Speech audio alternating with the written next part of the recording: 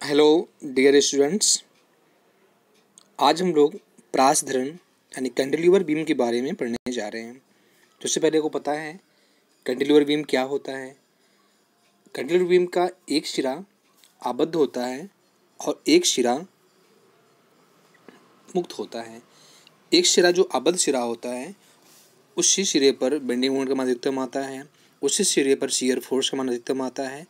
अतः हमें अधिकतम बेंडिंग मोमेंट अधिकतम शेयर फोर्स के लिए हमें धरण की डिज़ाइन करनी होती है। तो हम यहाँ पे प्रास धरण के लिए हम जनरली जिसका आबद्ध सिरा होगा, वहीं पर जो है हम गणना करके सभी घटक के धारण करेंगे। मुक्त सिरा का जो वैल्यू होती है, मुक्त सिरा की जो माप होती है, वो स्वतः अपने से मान ली जाती है। सबसे पहले प्रास धरण के बारे में कुछ यहाँ पे विशेषता है, वो देख लेते हैं हम लोग हैं प्रास धरण का एक सिरा पूर्णतः मुक्त होता है अर्थात बाहर निकला होता है अथवा हवा में लटका होता है, तथा दूसरा सिरा दीवार या स्तंभ से पूर्ण रूप से फिक्स होता है या बधा होता है। छज्जों में सनसेट, झरोखों, बालकनी, पोर्च, प्रवेश द्वार आदि के सामने आदि के सामने प्रास धरण तथा प्रास स्लैब का निर्माण किया जाता है। प्रास धरण आलम्ब की दीवार में भली भांति आबद्ध रहना चाहिए, ताकि यह पलट न जाए। प्रास धरण के निर्माण में पर्याप्त सावधानी रखनी पड़ती है, क्योंकि इसके आबद्ध सिरे पर ऐठन एक चीज़ में बता दें आप लोगों प्रास धरण के आबद्ध सिरे पर ऋणात्मक नमनाघोड़ या ऋणात्मक bending moment negative bending moment उत्पन्न होता है। अतः हमें इस आबद्ध सिरे पर जो भी रेनफोर्समेंट देना है, वो हमें काफ़ी सावधानीपूर्वक और अच्छी तरह से देना होता है। प्रास धरण में, जैसा हम जानते हैं सिंगलिस रेनफोर्स कंक्रीट बीम या एसएसबी बीम में तनन क्षेत्र एक धरण होती है। तनन क्षेत्र नीचे और संवेदन क्षेत्र ऊपर होता है। लेकिन एक प्रास स्लैब में, प्रास धरण में, एक प्रास धरण हमारा है, इस प्रास धरण का एक सिरा बद्ध है, एक सिरा मुक्त है। प्रास धरण का तनन क्षेत्र ऊपर और कंप्रेशन क्षेत्र नीचे, यानी इसका उल्टा, इसका ये उल्टा होता है। अतः इसकी सीमित लंबाई तक ही बाहर बढ़ाना पड़ता है। शुद्धलंबित धरण की तुलना में प्रास धरण में चार गुना अधिक बंकन आगुण उत्पन्न होता है। यानी कि शुद्धलंबित धरण के मध्य क्षेत्र में बेंडिंग मोमेंट अधिकतम होता है और प्रास धरण के आबद्ध सिरे पर बेंडिंग मोमेंट अधिकतम होता है। अमुक्त सिरे पर बेंडिंग मोमेंट यहाँ पे क्या होता है? न्यूनतम या ज़ीरो यहाँ पे पॉइंट पे हो जाता है। तो ये था हमारा एक प्रास स्लैब प्रास धरण की विशेषता।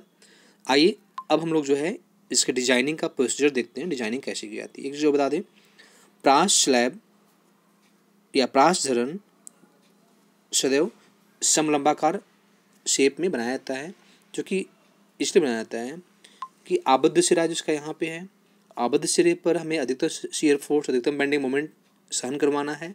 अतः यहाँ पे हमें धरण की गहराई अधिक रखनी चाहिए। मुक्त सिरे पर बेंडिंग मोमेंट शून्य होता है या शेयर फोर्स भी शून्य होता है। अतः हाँ हमें एकदम आवश्यकता नहीं है खंड की माप की, लेकिन फिर भी हम लोग धरण को आकार देने के लिए, एक अच्छा दिखने के लिए हमें यहाँ पे एक स्वलंबाकार शेप यानी इस सिरे पर बढ़ते हुए आगे चल के हम इस सिरे को कम कर देते ताकि इससे हमें जो कंक्रीट का जो प्रयोग हो रहा है यहाँ पे, वो हमारा इतना बच जाता है और इससे हमारी संरचना मित्यपाई हो जाती है। आइए प्रास का यहाँ पे एक ड्राइंग बनाया गया है। जैसा देख सकते हैं प्रास की यहाँ पे गहराई ज़्यादा रखी गई है गहराई कम रखी गई, कैसे रखी गई, हम इसको जो है चरणबद्ध तरीके से देखते हैं। हमारा पहला चरण है प्रभावी पार्ट प्रभावी part L is equal to capital L plus आलम की आधी चौड़ाई। जैसे आपको पता है सुदलंबित के दो सिरे होते हैं, दो आलम्ब होते हैं, यहाँ इसके एक आलम्ब है, इसलिए हम जो है आधी चौड़ाई लेंगे, या प्रभावी part small L is equal to L plus D by two अब जैसे पता आपको होगा सुधालंबित में दो, आलम्ब थे इसके तो हमने एल प्लस डी लिया था। यहाँ चूँकि इसका एक ही अलाम्ब है इसलिए हम L plus D by two लेंगे। इसमें जो न्यूनतम ले लेंगे। दूसरा पॉइंट हमारा खंड की अनुमानित माप। जैसे बताया मैंने यहाँ दो शेप बन रहा है। एक शेप बन रहा है यहाँ पे आबद्ध सिरे पर शेप बन रहा है। एक यहाँ बन रहा है ये हमारा इस तरह से है। एक यहाँ बन रहा है जो हमारा छोटा आकृति बनी है। चौड़ाई दोनों की सेम है। दोनों की चौड़ाई यहाँ पे सेम है। दोनों चौड़ाई यहाँ पे दोनों सेम है, लेकिन गहराई दोनों की डिफरेंट होगी। इसलिए हम हमेशा हर काम आबद्ध सिरे पर करेंगे, मुक्त सिरे वो अपने से तय कर लेंगे। तो गहराई eight fix point part by four से पार्ट बाई सिक्स की रेंज में हम लेते हैं। पार्ट बाई फाइव भी बीच में हो सकती है इसके। अबल सिरे गहराई ले लेंगे और मुक्त सिरे पर जो गहराई होती है, वह सौ से दो सौ अपने से मान लेते हैं यहाँ पे। यहाँ पे डी इज़ इक्वल टू हम पार्ट बाई फोर से पार्ट बाई सिक्स लेंगे। और चौड़ाई जनरली क्या होती है? जनरली जो है चौड़ाई जो होती है, जो भी चौड़ाई हमारी होती है यहाँ पे है, ये चौड़ाई, ये गहराई का आबल सिर गहराई का आधा। और चौड़ाई देख रहे हैं आप, समान रूप से होती चौड़ाई कम नहीं होती, बस गहराई कम होती इसकी। इस तरह से जो है D upon one point five से डी अपान टू के रेंज में ले लेते हैं। इस तरह से एक अनुमान लगाना है, बहुत ज़्यादा इसमें हमें जो है विश्लेषण नहीं करना है। बस एक, हमें अपने अनुभव से एक खंड की साइज़ तय कर लेनी है। अब आते हैं भार पे। भार में जो है हमारा पहला अध्यारोपित भार, जो प्रश्न दिया होगा, इसके ऊपर कौन सा भार लगा, पॉइंट लगा यूडो लगा हुआ है ऊपर से भार दिया होगा। दूसरा हमारा स्वयं का भार, जो हमारे लिए यहाँ पे थोड़ा ध्यान रखने वाली बात होगी। स्वयं का भार में यहाँ पे जैसा देख सकते हैं प्राश्रभ हमारा जो है एक समलंबाकार शेप में है। तो हम प्राश्चलय का स्वयं का भार जो है संपूर्ण भार निकालेंगे, एक साथ निकालेंगे। संपूर्ण भार डब्लू निकालेंगे चूँकि अब जैसे जानते हैं कि किसी वस्तु का भार जो कल टू उसका आयतन गुड़े घनत्व होता है तो चूँकि प्रास स्लैब जो प्रास धरण हमारा है, वह एक समलंबाकार आकृति का है। आकृति का धरण का संपूर्ण भार भार इज़ इक्वल टू का आयतन गुड़े घनत्व। आयतन कैसे निकालेंगे? किसी वस्तु का आयतन इज़ इक्वल टू इसकी फ्रंट एरिया और इंटू इसकी मोटाई। तो एरिया गुड़े मोटाई, यानी एरिया गुड़े थिकनेस इज़ इक्वल टू हमारा आयतन वैल्यूम और उसमें हम जो है इसके डेंसिटी से गुड़ा कर देंगे। तो क्षेत्रफल निकालें, कैसे निकालें क्षेत्रफल? एक समलंबाकार आकृति का क्षेत्रफल निकालने के लिए यह वैल्यू प्लस यह वैल्यू बाई टू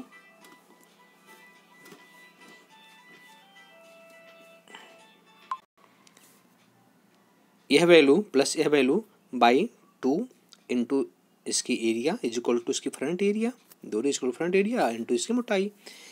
तो डी यहाँ की माप है डी डैश यहाँ की माप D plus D dash by two into L is equal to इसकी एरिया हो गई और एरिया इंटू इसकी बी इसका आयतन हो गया, आयतन गुड़े घनत्व कितना, चूँकि आर सी बनाना है तो आर सी घनत्व कितना होता है, पच्चीस हज़ार न्यूटन प्रति मीटर क्यों हमारा जो है, इसका पूरा स्वयं का भार, अब यहाँ एक पॉइंट और हमको देखना है, क्या, जो स्वयं का भार यहाँ पे कुल आया हुआ है, इस स्वयं का भार का हम सी जी ज्ञात करेंगे हम स्वयं का भार का यहाँ पे सी ज्ञात करेंगे। यानी स्वयं का भार कुल कहाँ कार्य कर रहा है, ये गणना करनी अति आवश्यक होगी।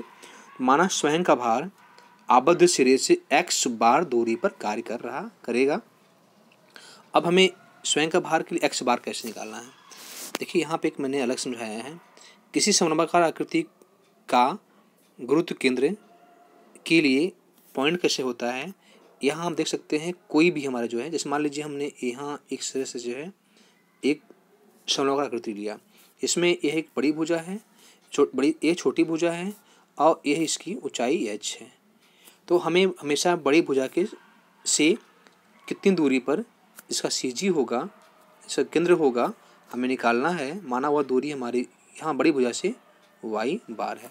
तो Y bar is equal to बनाया हुआ है Y bar is equal to बड़ी भुजा प्लस छोटी भुजा का दो गुना यानी A plus two B upon बड़ी भुजा प्लस छोटी भुजा इंटू हाइट जितनी है हमारी? उसकी एच बाई थ्री इस तरह से बड़ी भुजा से दूरी कितनी है? वाई बार निकल के आ गया।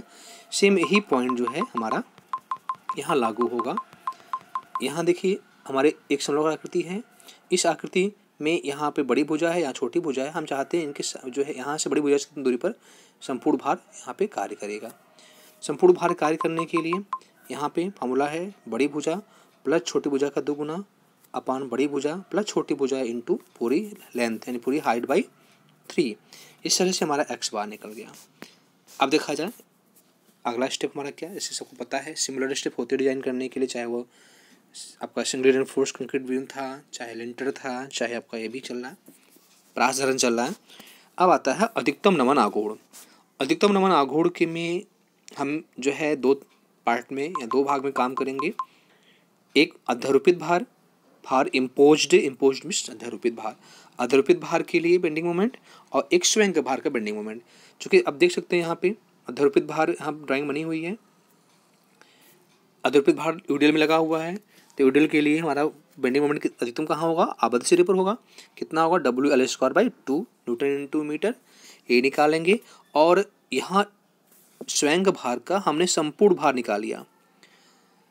हमें कुल कितना भार कार्य कर रहा है? स्वयं का ये निकाल लिया और दूरी निकाल लिया। तो आबाद सिरे के सापेक्ष स्वयं का भार का मोमेंट तो बल इंटू बीस की दूरी तो W into X bar W into X bar यहाँ निकल गया।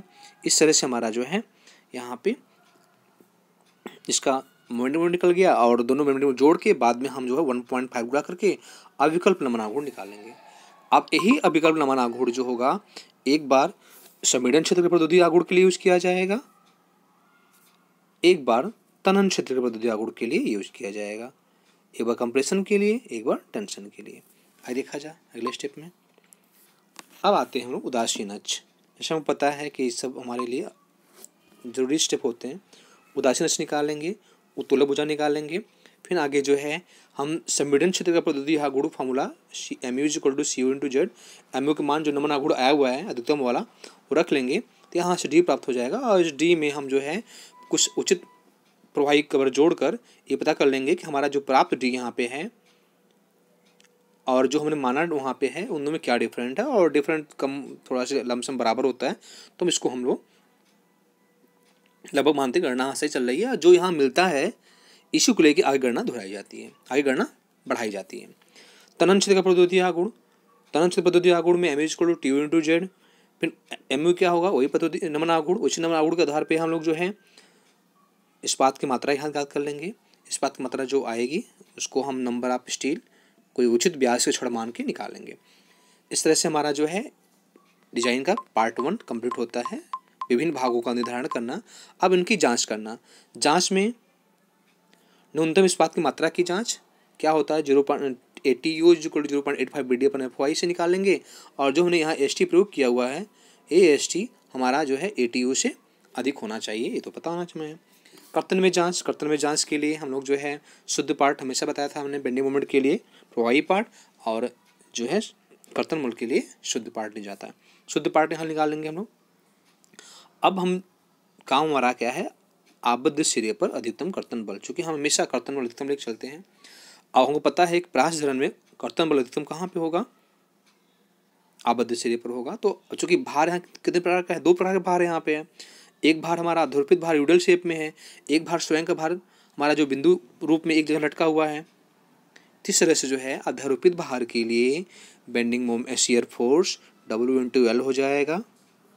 और जो हमारा पॉइंट भार लगा हुआ है, कुल भार, इस भार का बेंडिंग शेयर फोर्स जो है, हमारा डब्लू हो जाएगा। और इन दोनों को जोड़कर हम लोग जो है टोटल शेयर फोर्स निकालेंगे और टोटल शेयर फोर्स में वन पॉइंट फाइव जुड़ा करके हम लोग अविकल्प भार में बदल देंगे। हमको पता है कि एक हमको एक चीज़ पता है यहाँ पे है कि एक आबद्ध, एक प्रास धरण के यदि मुक्त सिरे पर बिंदु भार लगा हुआ हो तो इस कारण से आबद्ध सिरे पर shear force F is equal to बनेगा इंटू इस आबद्ध सिरे के दाहिने तरफ़ सभी लगे हुए बलों का बीजगढ़ती हो, जो कई कई बल लगा हुआ इनको जोड़ लेंगे। तो इस तरह से जो है, हम लोग शेयर फोर्स और डब्लू आएगा। तो वही पॉइंट यहाँ है कि इस आबद्ध सिरे के दाहिने साइड कितने बल लगे, एक बल लगा हुआ डब्लू जो बिंदु भार के रूप में है तो बिंदु भार का ही वैल्यू जो है यहाँ पे शेयर फोर्स के रूप में हो जाएगा। और फाइनली हम लोग जो है, अगला स्टेप विकास लंबाई की जाँच, जैसे कि बताई है L D is less than is equal to one point three M one भी प्लस एल ओ इससे हम जाँच कर लेंगे। यानी वही जाँच के जो तीन स्टेप होते हैं हमारे वही दोहराया जाएगा। इस तरह से आपका और लास्ट स्टेप का होगा हमारा ड्राइंग बना लेना। हम ड्राइंग बना लेंगे और इस तरह से हमारी जो है पूरी डिज़ाइनिंग का स्टेप कंप्लीट हो जाता है। और इसी स्टेप पे हम जो है एक न्यूमेरिकल हल करेंगे सॉल्व करेंगे, देखते हैं कैसे होता है। धन्यवाद।